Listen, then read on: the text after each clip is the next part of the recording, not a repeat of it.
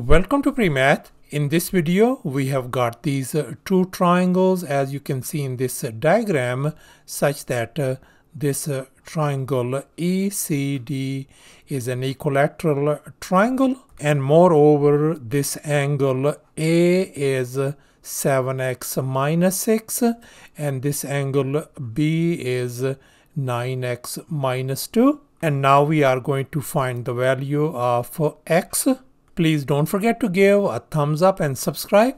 Before we proceed any further, let me make it very clear that this figure may not be 100% uh, true to the scale. Let's go ahead and get started with the solution.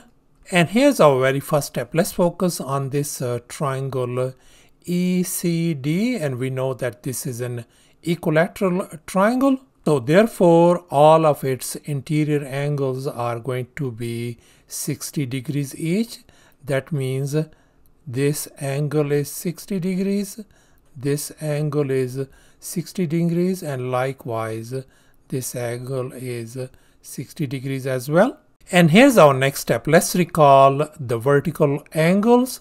Vertical angles are the angles opposite to each other when two lines cross each other. And here in our case this angle and this angle they are vertical angles and they are congruent.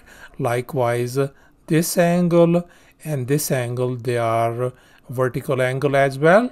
And finally this angle and this angle are vertical angles. So therefore this angle is going to be 7x minus 6 this angle is going to be 9x minus 2 and finally this angle is going to be 60 degrees. So therefore our angles ABC turns out to be 9x minus 2. Angle BAC is 7x minus 6 and finally ACB angle is 60 degrees. And now let's recall uh, triangle sum theorem. According to this theorem, the sum of the three interior angles in this uh, triangle ABC must be 180 degrees.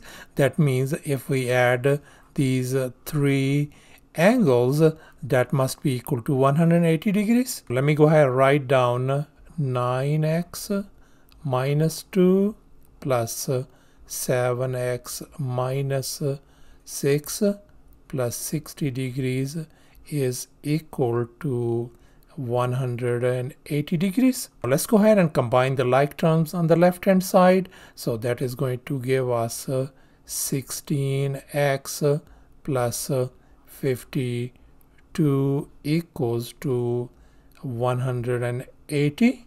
Let's subtract 52 from both sides. This is gone. So therefore our 16x turns out to be 128 let's divide both sides by 16 so therefore our x value is going to be equal to 8 and that's our solution.